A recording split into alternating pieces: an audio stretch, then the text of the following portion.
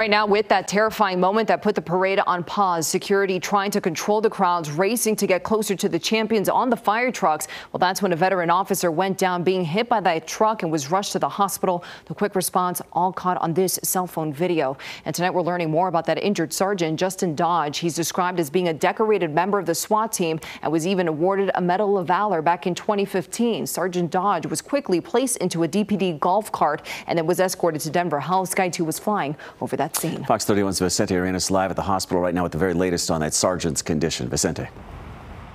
Jeremy, we are told that Sergeant Dodge is in surgery this afternoon. He is said to be in serious but stable condition. Doctors are operating on him here, trying to save his leg after he was hit by that fire truck during the parade today.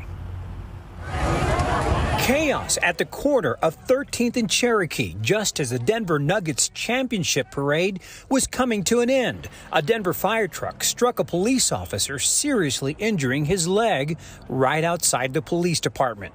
The fire truck was carrying the championship trophy along with MVP Nikola Jokic and teammate Jamal Murray. Carl Elder was at the corner and shot this video. It was just a bunch of commotion. I mean, everybody was yelling and everything like that, and they uh, threw the officer in back of a side by side and exited him out of here. The officer has been identified as Sergeant Justin Dodge. He was taken to Denver Health, where doctors said he had suffered a limb threatening injury. The fire truck uh, began to roll up the back of his left leg, uh, trapping him underneath the vehicle.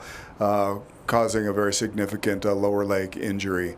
Um, uh, we were able to extricate him from underneath the fire truck, load him up uh, in, in, an ambulance, and rush him here to Denver Health Medical. Doctors are now trying to save Dodge's leg. He's described as a decorated veteran of the department and serves on the SWAT team. The incident left many in the crowd reeling. Many at first didn't know what happened. Some of the aftermath captured by Sky Fox. Back on the ground, for some, it was surreal. It's a lot of crazy stuff, like a lot of pushing. Like I saw, you know, Jokic. The parade continued on to the rally at Civic Center Park. Many now thinking of Sergeant Dodge, a sad moment during what was supposed to be one of Denver's happiest moments. Sergeant Dodge was one of more than 200 officers posted along the parade route. He had been specifically assigned to guard that fire truck that ended up hitting him. Live outside Denver Health, Vicente Arenas, Fox 31.